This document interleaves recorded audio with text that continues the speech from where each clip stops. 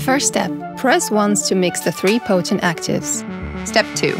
Press and lift the eye area.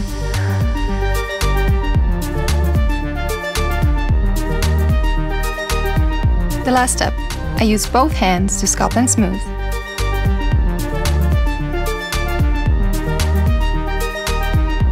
Can you see the difference? New Rénergie HCF Triple Serum Eye, Lancome.